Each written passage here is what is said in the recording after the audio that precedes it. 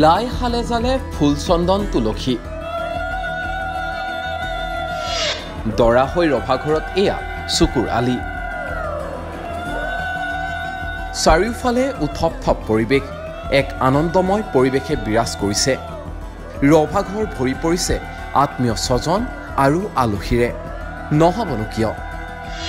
কাৰণ চকুৰ আলিৰ বিয়া। হয়। জীৱনৰ দ্বিতীয় ইনিংছ আৰম্ভ কৰিবলৈ ওলাইছে চকুৰ আলিয়ে। দৰাৰ সাজত চকুৰ আলিক চাবলৈ বীৰ দি বাট নোপোৱা অৱস্থা। লাজে লাজে নাকে মুখে ৰুমাল দি গাড়ীৰ পৰা এইদৰে নামি আহিল চকুৰ আলি। তাৰ পিছৰ পৰিৱেশ এয়া। দৰা চকুৰ আলিক এবাৰ মাত্ৰ কাষৰ পৰা চাবলৈ ৰাইজৰ হেতাও পৰা।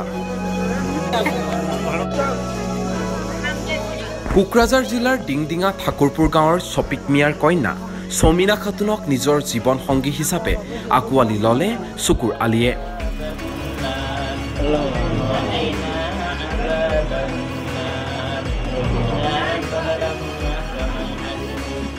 ইছলামী ৰীতি নীতিৰে নিকাহ সম্পন্ন হয় চকুৰ আৰু চমিনাৰ। যুগ্ম জীৱন আৰম্ভ কৰা চকুৰ আৰু চমিনালৈ ৰাইজৰো হিয়া উজাৰি আশীৰ্বাদ। ৰাজনীতিৰ লগতে সাংসাৰিক জীৱনতো সুখে সন্তোষে উপচি পৰক চকুৰ চমিনাৰ জীৱন।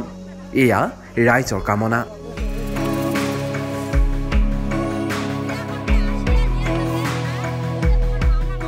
বিলাসীপাৰাৰ পৰা আফৰজুল ইছলামৰ ৰিপৰ্ট টাইম এইট।